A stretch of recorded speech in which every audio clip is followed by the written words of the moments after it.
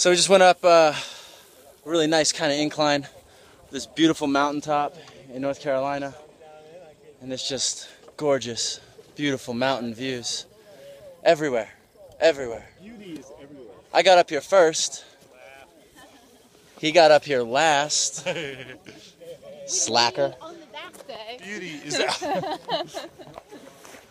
Beauty is everywhere, and we love it. Now let's do the badass adventure rider version. Badass adventurizer. So we're out here gazing upon the landscape, enjoying epic views, the way real men and women like to do.